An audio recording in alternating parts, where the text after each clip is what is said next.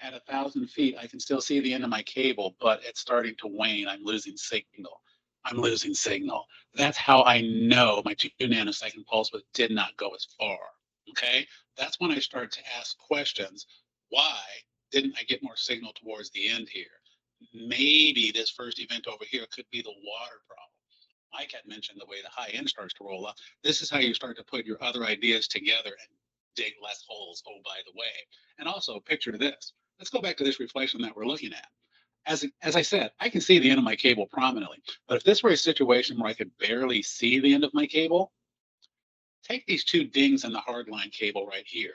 What if these two dings in the hardline cable were not right here, but they were over towards the end of the cable?